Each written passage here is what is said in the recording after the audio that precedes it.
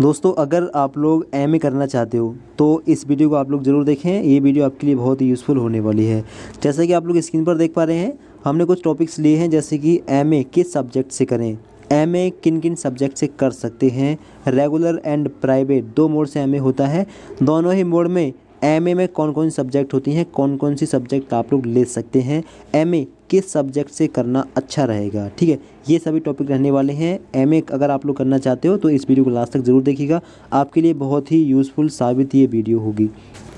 तो दोस्तों, सबसे पहले हम बात करेंगे एम ए किन किन सब्जेक्ट से कर सकते हैं। यहाँ पर बहुत से स्टूडेंट्स कन्फ्यूज़न में रहते हैं कि एम ए किन किन सब्जेक्ट से कर सकते हैं क्या क्या सब्जेक्ट एम ए में ले सकते हैं।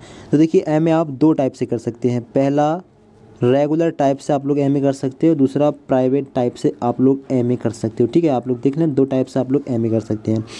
अब, ध्यान से देखें एमए में क्या क्या सब्जेक्ट आप लोग ले सकते हैं। तो एमए अगर आप लोग रेगुलर से करते हो तो आप लोग वही सब्जेक्ट ले सकते हो जो आपके लास्ट ईयर में थी, ठीक है?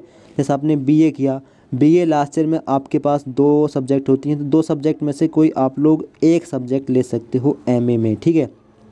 मान लीजिए कि आपके बीए थर्ड ईयर में हिस्ट्री और ज्योग्राफी है तो इन दो सब्जेक्ट में से ही आपको एक सब्जेक्ट लेनी होगी रेगुलर से एमए करने के लिए, ठीक है? आप लोग समझ गए होंगे।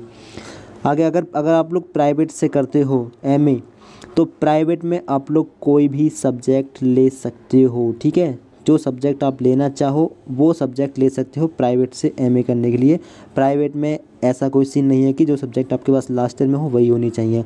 प्राइवेट में आप लोग कोई भी सब्जेक्ट ले सकते हो। प्राइवेट में कुछ यूनिवर्सिटी के अंदर प्रैक्टिकल सब्जेक्ट नहीं होती हैं, बाकी कुछ यूनिवर्सिटी में प्रैक्टिकल सब्जेक्ट भी होती हैं। प्राइवेट में प्रैक्टिकल सब्जेक्ट कम होती हैं, ठीक है? तो इसका मतलब ये है कि प्राइवेट में आप लोग प्रैक्टिकल सब्जेक्ट नहीं ले सकते और बाकी जो भी सब्जेक्ट हैं पॉलिटिकल साइंस इकोनॉमिक्स वगैरह कोई भी सब्जेक्ट आप लोग दे सकते हो, ठीक है? तो जिस भी सब्जेक्ट्स आप लोग करना चाहो प्राइवेट से उस सब्जेक्ट से आप लोग एमए कर सकते हो, जबकि रेगुलर से अगर आप लोग एमए कर रहे हो तो केवल उन्हीं सब्जेक्ट से कर पाओगे जो आपके पास लास्ट ईयर में थी। उन दो सब्जेक्ट में से ही आपको कोई एक सब्जेक्ट लेनी होगी। बात करते हैं कि एमए में कौन कौन सी सब्जेक्ट होती है। तो एमए में आपका history geography political science economics और आपका सोशोलॉजी इसके अलावा मैथमेटिक्स से भी आप लोग एमए कर सकते हो होम साइंस से एमए कर सकते हो, और भी बहुत सी सब्जेक्ट जिससे आप लोग एमए कर सकते हो, जैसे कि आपका साइकोलॉजी वगैरह हो गई, इससे भी आप लोग एमए कर सकते हो। तो मैंने आपको बता दिया कि अगर आप लोग प्राइवेट से एमए करना चाहो तो किसी भी सब्जेक्ट से इनमें से कर सकते हो, ठीक है? और अगर रेगुलर से करना हो तो उन सब्जेक्ट से ही करोगे, जो आपके पास से बी ए लास्ट ईयर में होंगी। उन दो में से ही कोई एक सब्जेक्ट लेनी होगी, ये बहुत सी यूनिवर्सिटी के अंदर है, ठीक है? तो आप लोग आई होप समझ ही गए अब आगे एम ए किस सब्जेक्ट से करना अच्छा रहेगा? एम ए किस सब्जेक्ट से करना अच्छा रहेगा, ये आपके इंटरेस्ट पर डिपेंड करेगा। आपको कौन सब्जेक्ट में इंटरेस्ट है, कौन सी सब्जेक्ट आपको पढ़ना अच्छा लगता है, किसमें आप लोग ज़्यादा नॉलेज लेना चाहोगे। कुछ पॉपुलर सब्जेक्ट मैं आपको बताता हूँ कि एमए में कुछ पॉपुलर सब्जेक्ट कौन कौन सी हैं। तो एमए में कुछ पॉपुलर सब्जेक्ट हैं, जैसे कि आपका एक हो गई सोशोलॉजी और एक हो गई आपका इकोनॉमिक्स हिस्ट्री काफ़ी पॉपुलर है। और पॉलिटिकल साइंस काफ़ी पॉपुलर सब्जेक्ट है। ये सब्जेक्ट काफ़ी पॉपुलर हैं एमए में, ठीक है? तो आई होप के आपको सबके समझ में आ गया होगा। आप लोग किसी भी एक सब्जेक्ट से एमए कर सकते हो। एक सब्जेक्ट के फिर चार पेपर सब्जेक्टिव टाइप के होंगे, जिसमें रिटर्न पेपर होगा और एक आपका प्रैक्टिकल बाइबा टाइप का होगा। टोटल पाँच पेपर होंगे आपके रेगुलर में भी प्राइवेट में भी, ठीक है? प्राइवेट में साल में एक बार एग्ज़ाम होंगे और रेगुलर में साल में दो बार एग्ज़ाम होंगे।